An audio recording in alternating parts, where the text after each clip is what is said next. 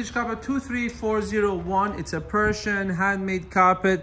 This is one of those very exciting carpets in a very simple design that makes it very unique. It's got a nice border area with a darker blue and a light faded area, more shade inside. Inside areas, you can just about see the black design of the original carpet.